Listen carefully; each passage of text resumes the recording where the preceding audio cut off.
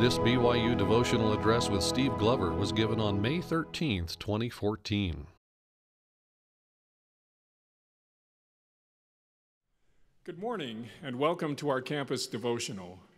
Today we'll have the opportunity of hearing from Steven M. Glover, an Associate Dean in the Marriott School of Management. We welcome his wife Tina, who is seated on the stand, as well as their family members and friends who have joined us today. Steven M. Glover served as a full time missionary in the Spanish speaking California Ventura Mission.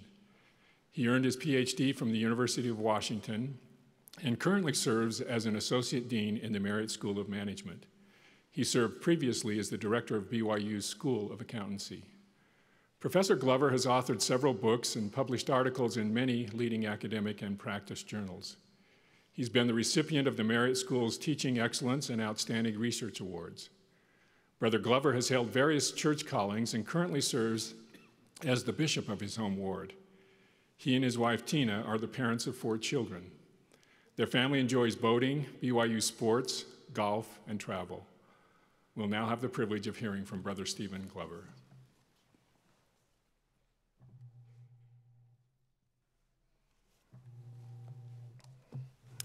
Good morning, and thank you, President Worthen. It's an honor to be with you today. When I received the invitation to speak at Devotional, I thought back on how devotionals have been an important part of my life for more than 30 years. One of the first devotionals I remember was when I was a freshman at the school formerly known as Ricks College. I was raised in a faithful LDS home, and my patriarchal blessing said that I had a testimony through my earthly parents, which was true. But I was determined to strengthen my personal testimony of the restored gospel before I served a full time mission.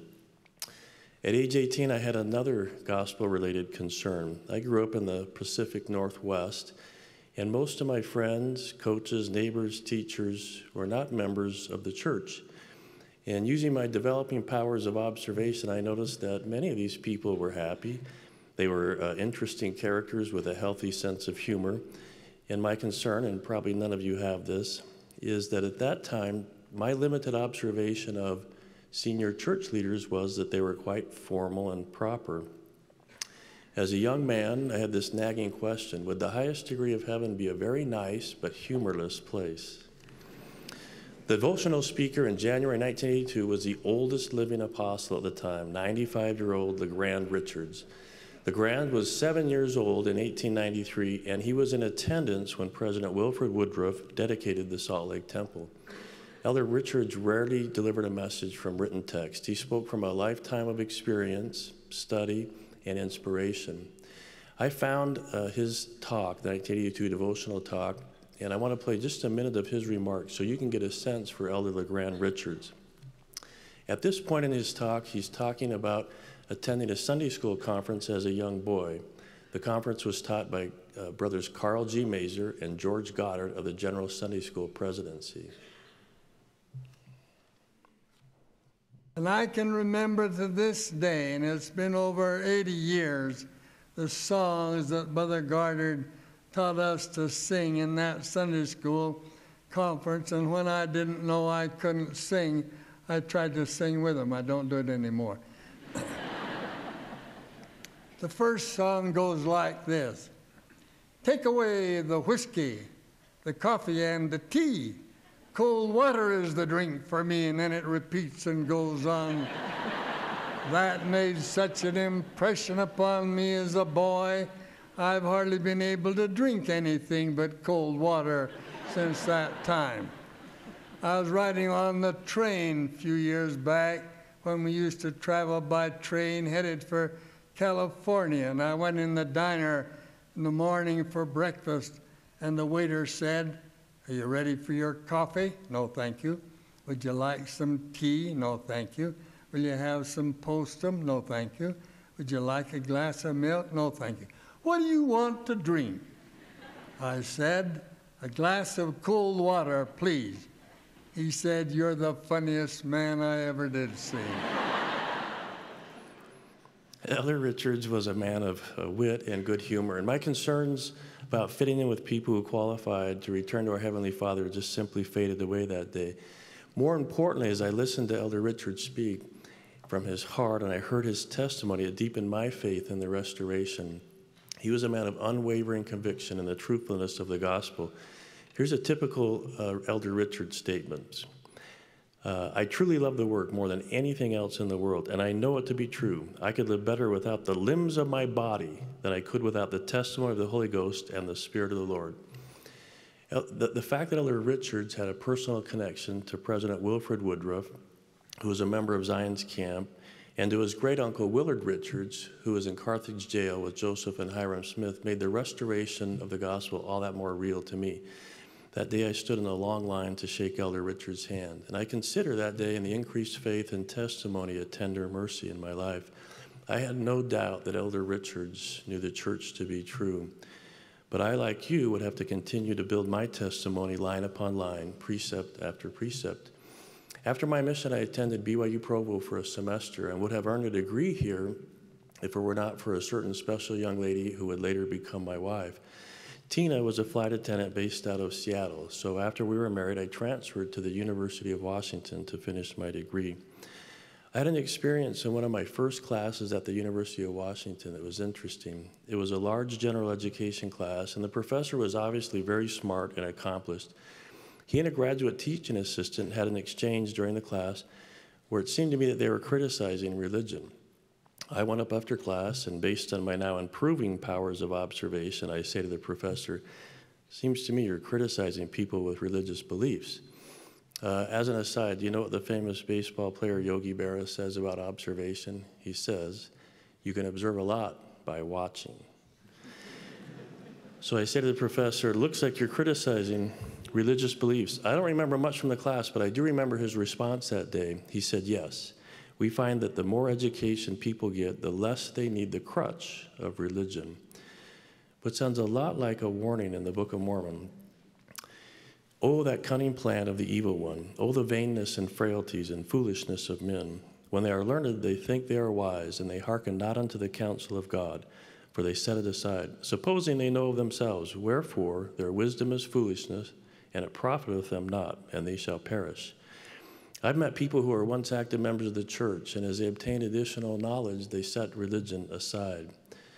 However, we know that education and learning are not inherently bad. In the next verse in 2 Nephi, it states, But to be learned is good if they hearken unto the counsels of God. After completing my undergraduate degree, I worked in Seattle for a few years and then returned to the university to pursue a PhD. In graduate school, I was trained in the scientific method, which is a rigorous and careful approach to gaining knowledge. Now, my professional uh, specialty involves the procedure of techniques used by professional accountants to evaluate the fairness of financial statement information. Financial statements tell the story of performance of the company and management. Now, I don't know about you, but when I started talking about accounting, there's this spike in energy in the room. And most of it may have come from this row right here of accounting professors. So, professional accountants verify the fairness of what management reports by gathering and evaluating relevant and reliable information. They gather enough information to provide a high degree of assurance that the statements are fair. I'm going to come back to that word assurance a little later. So, this method of obtaining knowledge, like the scientific method, is similar to much of your academic work. In an excellent speech uh, delivered by former BYU President Rex Lee, he calls this method of knowing the rational process. He said, the rational process is one that you are accustomed to using in your academic work. Its tools should be familiar to all of you reading, analysis, research, criticism, and general, generally problem resolution by thoughtful inquiry. Properly applied is a strenuous, taxing, and frequently frustrating experience that results in the strengthening of the ability, our ability, to use these processes. Through your past and present academic efforts, you're becoming increasingly expert in acquiring knowledge using the rational method. And our church leaders have repeatedly reminded us of the importance of this method. Modern day revelation emphasizes that we are to seek learning by study and also by faith, and wisdom out of the best books. There's another method of knowing, and President Lee called it the extra rational process, which comes through contact with godly things and revelation. President Lee said, Extra rational learning takes a great variety of forms. The methods are not the same as the rational process. The results are much surer, though they are not as susceptible to our own control. It is this extra rational process that I want to explore further with you today. President Lee noted that there's a tendency for those who become strong in rational processes to downplay the importance of extra rational. Perhaps people believe that being excellent in rational processes can compensate for being weak in extra rational processes. In the Bible dictionary, it states knowledge of divine and spiritual things is absolutely essential for one's salvation. Knowledge is not obtained all at once, even by revelation, but line upon line, precept upon precept. I've observed people who fall away from the gospel eh, eh, and the church of Jesus Christ and at least one of the reasons seems to be that their rational skills are stronger than their extra rational skills. One young person who has distanced himself from the church said he recognizes the many good aspects of the church and the gospel, but he currently doesn't see a need for organized religion. Another who's been out of the church for several years said he wouldn't be surprised if someday he returned to the church, he was just waiting for the right feeling that he should return. These comments seem to reflect a misunderstanding of the important elements of extra rational processes. In Hebrews 11, we read, Now faith is a substance of things hoped for, the evidence of things not seen. If you look at the Joseph Smith translation of this verse, it reads, Now faith is the assurance of things hoped for, the evidence of things not seen. So there's that word assurance. Recall that for professional accountants, obtaining a high degree of assurance involves a systematic process of gathering and evaluating evidence.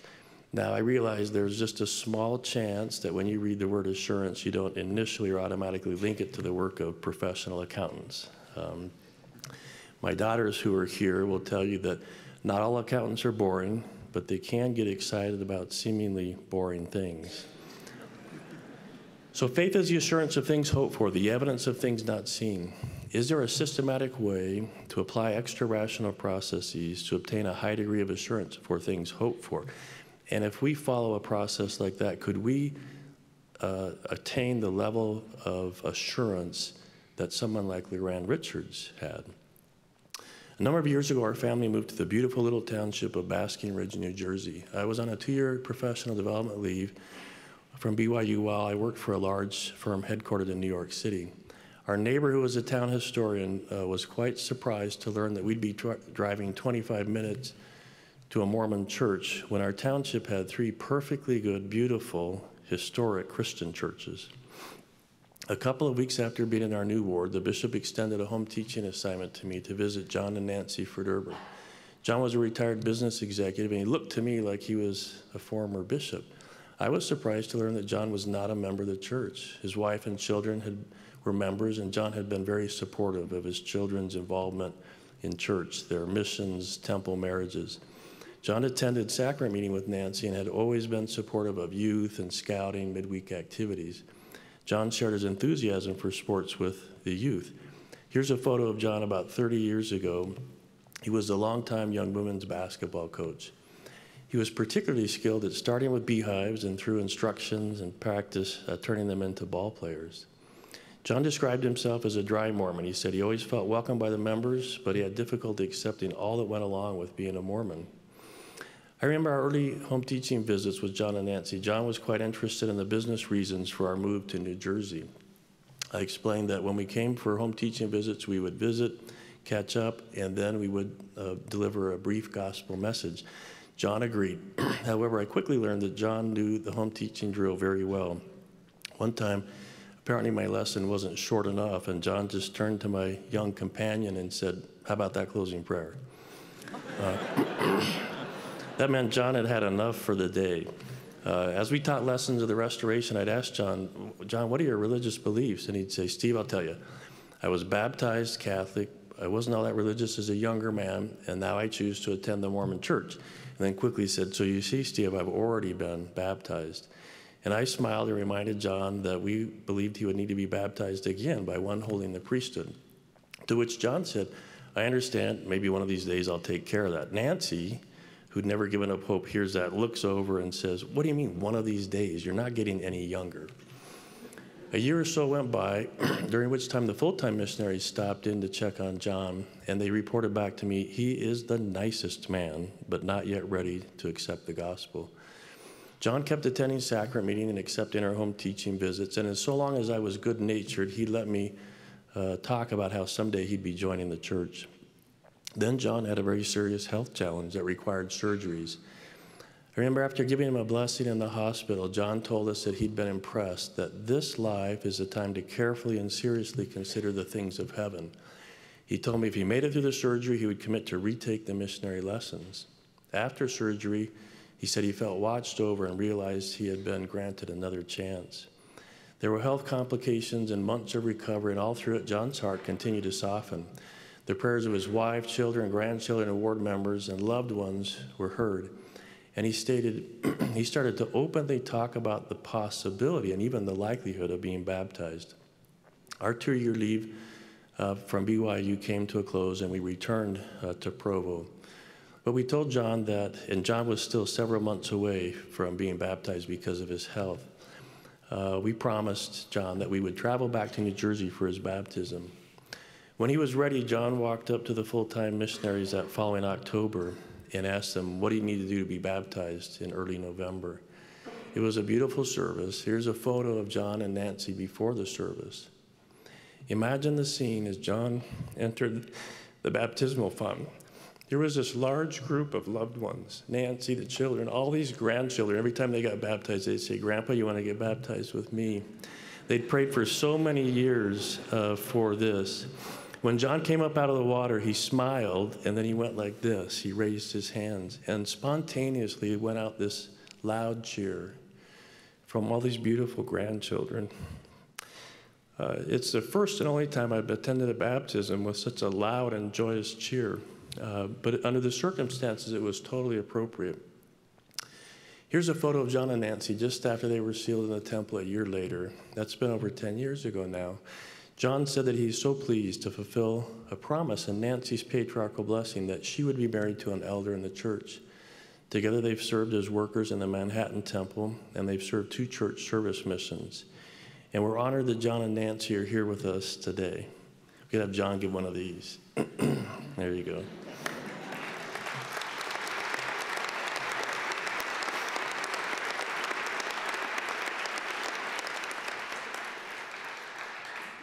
So, what lessons do we learn uh, from John about gaining assurance from extra rational processes? We certainly see the power of a loving and faithful wife and family who offered countless prayers on John's behalf. John also always felt welcomed by the saints. Alma in the Book of Mormon teaches that the extra rational process often begins with a humble and basic desire to believe. As the Word of God, like a seed, is planted in our hearts, it begins to swell, provides enlightenment, and enlarges the soul. John was humble. He had desire. He acted upon his spiritual promptings. I remember talking to John on the phone in the weeks following his baptism. He was learning so much about the gospel. He was surprised and a little nervous that he would be invited to teach the, whole, the, the priesthood lesson. What was clear is that even though John had sat through hundreds of sacrament meeting talks, without the benefit of the gift of the Holy Ghost, he hadn't retained much of that teaching. So, to apply extra rational processes, we must have a sincere and humble desire to gain knowledge we must act in response to spiritual promptings, and the Holy Ghost is a great facilitator of obtaining assurance of spiritual things. If we ever find ourselves just going through the motions of attending Sunday meetings or offering prayer without sincere and heartfelt desire, we need to recognize that this is not an effective application of our extra rational processes. As a teenager, David O. McKay desired to obtain his own witness of the truth. He describes riding his horse into the hills and finding a secluded place to offer a prayer, asking God for a testimony of the gospel. He fully expected he'd receive a manifestation that would remove all of his doubts. After uh, the prayer was done, he was riding home and he asked himself, uh, he pondered the events and he asked himself uh, what had changed. Quote, he said, quote, No, sir, there is no change. I am just the same boy I was before I knelt down. Close quote. The anticipated manifestation had not come. Even though he did not immediately receive a manifestation that he expected, he continued to apply extra rational processes by humbly seeking with sincere desire and choosing to live a righteous life. He said, The spiritual manifestation for which I had prayed as a boy in my teens came as a natural sequence to the performance of duty. Answers to our prayers may not always come in an immediate and direct response to prayer or at a time and a manner we anticipate, but they do come as we continue to do the will of God, and they come in a time and a manner that is of in our best interest. My great great grandfather, Morris David Rosenbaum, was born in Germany in 1831 to a Jewish family. At 11 years old, uh, Morris asked the rabbi why there were no more prophets or temples. And the rabbi explained those things were no longer needed, as the Old Testament was complete and contained all the necessary patterns. At age 19, Morris traveled to, to New York City for business, and some years later, he traveled to San Francisco.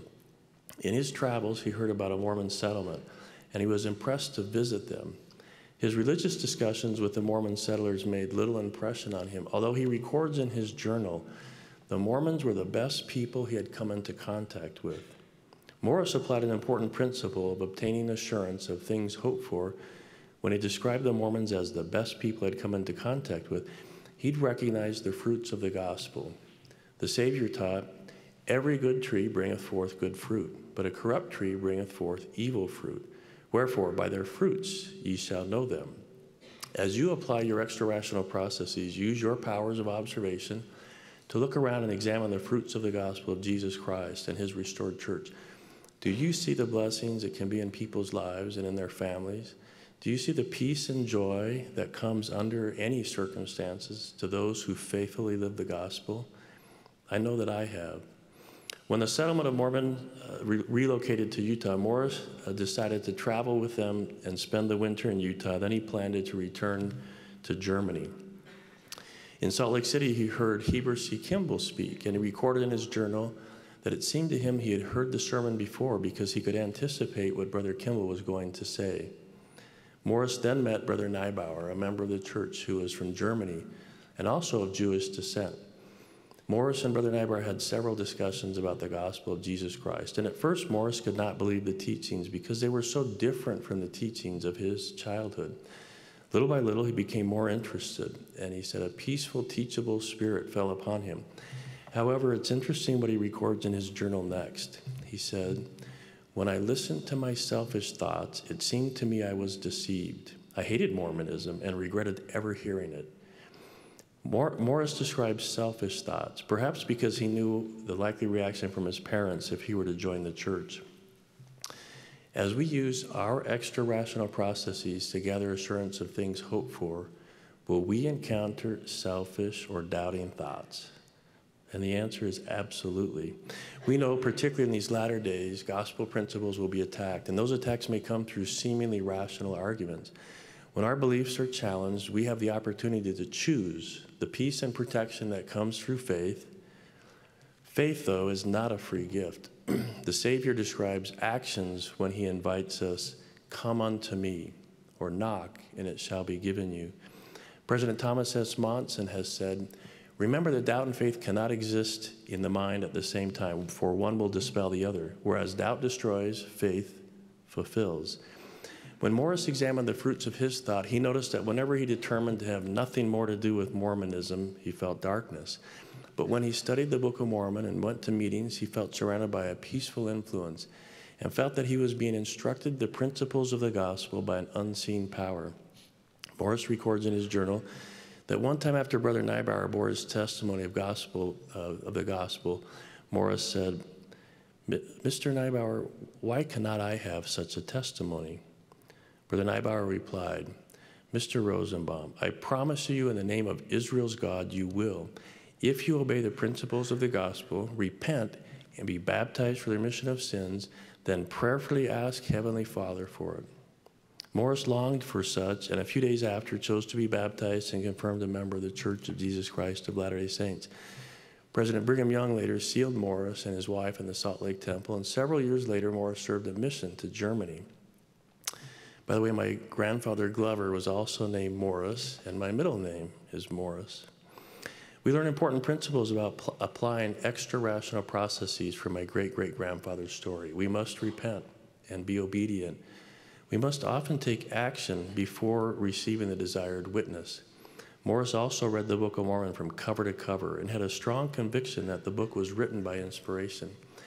It is said that when we wish to communicate with God, we do so through prayer. When God wishes to communicate with us, it is often through the scriptures. Our son is currently serving a full time mission in Melbourne, Australia. Now, we say Melbourne, but I have on good authority it's Melbourne. Uh, our son has worked with people who have sought baptism after they found answers to important questions while studying the Book of Mormon. We learn in Alma 37 that the scriptures are our own personal liahona. My experience is it doesn't matter so much where in the scriptures we are reading and pondering. The act of study and pondering opens the windows of heaven.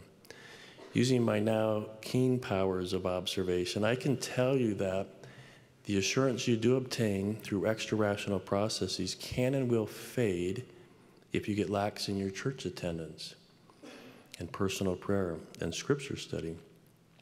In Alma 32, we, we read that even if the seed is good and grows into a, a tree that produces good fruit, if we neglect the tree, it will wither away. It withers not because the seed wasn't good or the fruit not delicious, but because of neglect and lack of nourishment.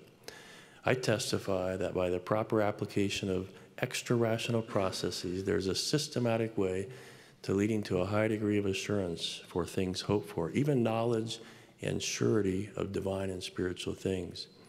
I will close with a promise from our beloved prophet, President Thomas S. Monson, who in a BYU devotional taught To those who humbly seek, there is no need to stumble or falter along the pathway leading to truth. It is well marked by our Heavenly Father.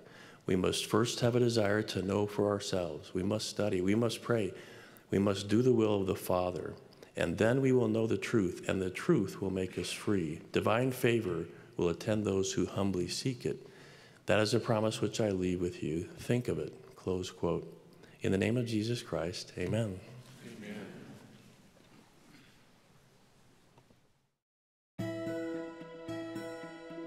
This BYU devotional address with Steve Glover was given on May 13, 2014.